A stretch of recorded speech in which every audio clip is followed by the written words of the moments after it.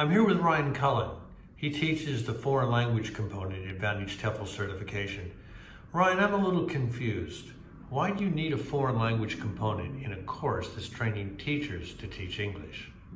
Well, it's to put you on the other side of the desk. It's to put you in the shoes of the students, right? So, uh, you know, a lot of our candidates might come from English speaking countries and they don't have any experience learning a second language for the first time. So this really puts them in the mindset of their students. It helps them understand the motivation and the dedication it takes to, to learn a new language, right? Which um, sometimes might not be easy for you to consider when you speak in, you know, you've spoken English all your life, you know. Um, but it, it, also gives them a couple of key phrases that they can use in their day-to-day -day life here in Thailand. They're going to be in Thailand for at least a month. A lot of them end up staying here much longer than that. So why not learn a couple phrases while you're at it?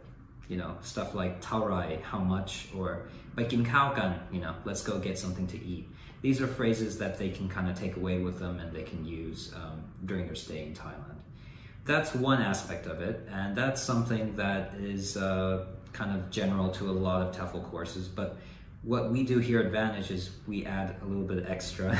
we um, we have a cultural component as well. You know, um, look, you're not going to learn a language in such a short amount of time during the TEFL course, but you can learn about Thai culture. You know, um, not every aspect of it, but the key aspects that will help you um, be in the Thai mindset. Right, stuff like thinking about why Thais do what they do, why Thais think the way they think. You know, we go into all aspects here. We talk about you know Thai religion.